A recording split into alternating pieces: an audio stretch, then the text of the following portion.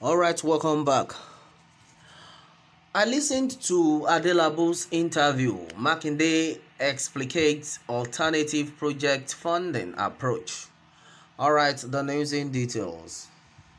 Oyo State Governor Sheyi Makinde declared at the weekend that his government has, in its first two years, increased the state internal generated revenue by close to by close to 15 billion naira without increasing taxes.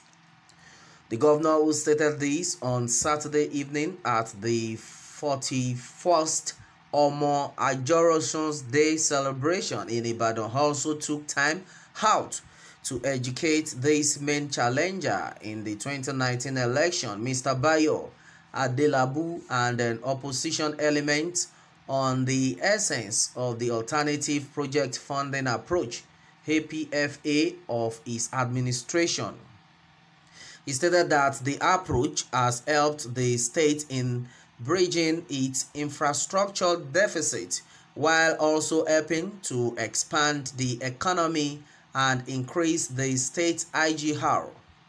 A statement by the chief press secretary to the governor, Mr. Taiwo Adisa, indicated that the governor's words came few hours after Adelabu, the governorship candidate of the All Progressive Congress APC in the 2019 election, openly lied that the state has only increased its IGR by 300 million monthly 300 million naira monthly since Makinde assumed office. The governor said within the first two years, we increased the IGR by close to 15 billion naira. We did it without raising taxes. We did it just by appealing and bringing more people into the tax net.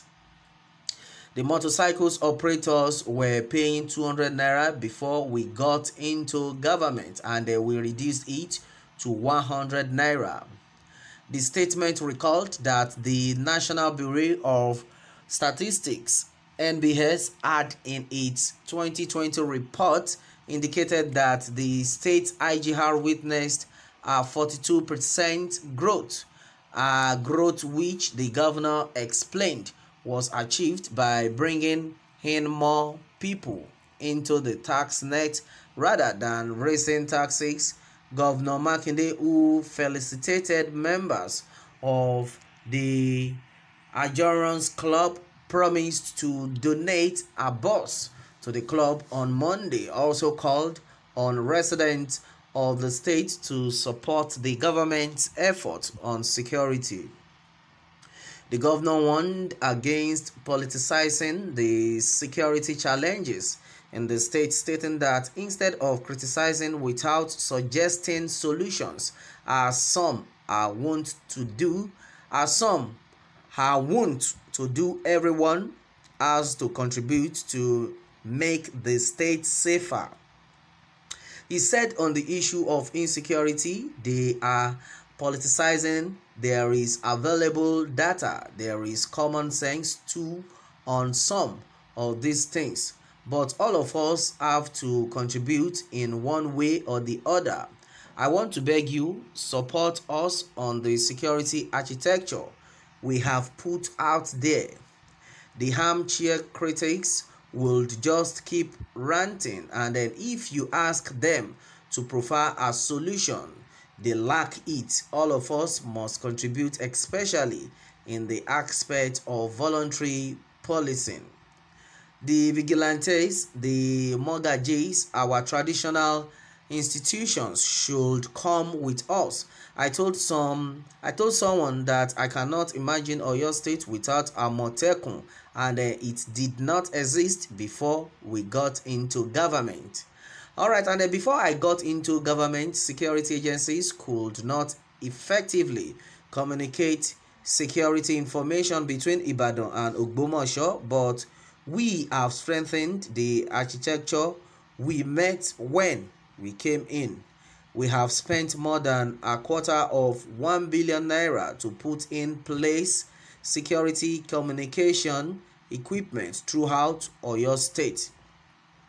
Now we are asking the banks that we want to integrate the CCTVs they have installed into our own security control center. You installed this government and uh, we are accountable to you. So if you see something, say something to us. Governor Makinde said he also stated that he took time to listen to an interview by Adelabu on Fresh FM with the intention of picking valuable points but expressed disappointment that the former CBN deputy governor's criticisms were misguided. He said that the politicians' takes on the APFA and uh, the resolution of the age-long ownership crisis on the Ladoke Akintola University of Technology, Ugbomoso were flawed. This morning, I intentionally listened to the interview of my brother, Mr. Bayo, Adelabu on Fresh FM. So I listened to Adelabu to know if there is anything I could pick from his argument. One of the things he criticized was our adoption of the alternative project funding approach APFA instead of build, operate and transfer.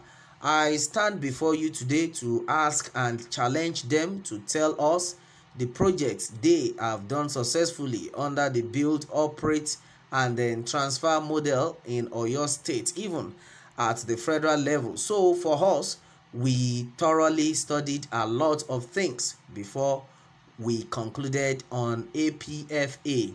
Well, according to him, said there are two elements in APFA. One, there is a link between the existing infrastructural deficit and the internally generated revenue. Well, when you tackle or reduce the infrastructure deficit, you are invariably increasing your IGR. And then if we want to improve on our IGR to make more money for our government, onto this, we we have to bridge the infrastructure deficit. What are the challenges usually associated associated with government projects that led to abandoned projects. The past government failed to see the end from the beginning of the project. They started by paying 30% to the contractor and those who wanted to get their 5% or 10% got theirs. All right, and then onto this, a lot of things are actually being said. Hmm. So, well, my people, a lot have been said so far. What more can we say onto this? Well, we understand that this is a game of politics, and then when it comes to politics, the opposition party will just be always looking for a way to bring down the party. But that is a normal thing but i think everything needs to be done well. And uh, my advice is that this set of people need to contact each other come together and then tell each other the truth and uh, what is necessary. All right my people on to this that has been it. Meanwhile let me have your take on this if you have any. And remember to subscribe for more updates. Thanks and god bless